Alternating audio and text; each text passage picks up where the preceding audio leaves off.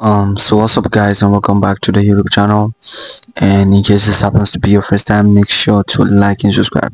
Now in this video we'll be talking about Sha'Carri Richardson and what she has to say about Shelly-Ann Fraser-Pryce um for those of you that do not know Sha'Carri Richardson was being interviewed by a journalist and she was being asked about what she has to say about the Jamaican sprinter Shelly-Ann Pryce and in this video I'll be sharing with you exactly what um Sha'Carri said about Queen Shelly-Ann Pryce but before that I want to address a particular issue because so many people are feeling like Sha'Carri is better and bigger than Shelly and Fries simply because she is having um, a bigger endorsement um, she is being paid um, more than Shelly-Ann Pryce.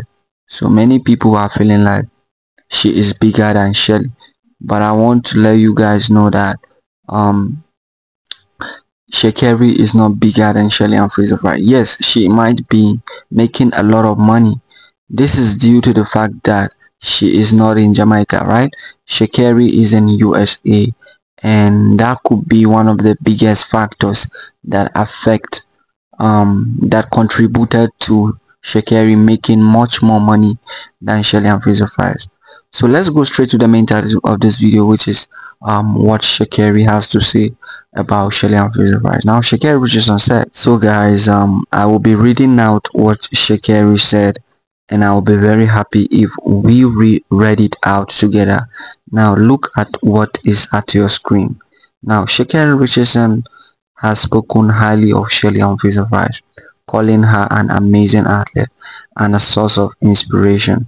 Richardson grew up watching Fraser-Pryce and has said that competing against her pushes her to be her best after beating Fraser-Pryce to win the 100 meter title at the 2023 World Championship. Richardson praised Fraser-Pryce saying, she's an amazing athlete I grew up watching her. Richardson also acknowledged that beating Fraser-Pryce required her best effort, stating it was going to take my best. When she has been doing this and can continue to be on the podium every single time. This shows a deep respect for Fraser-Pryce' talent and longevity in the sport. So this is what um Sha'Carri has to say. Let me hear your opinion. Do not forget to like and subscribe.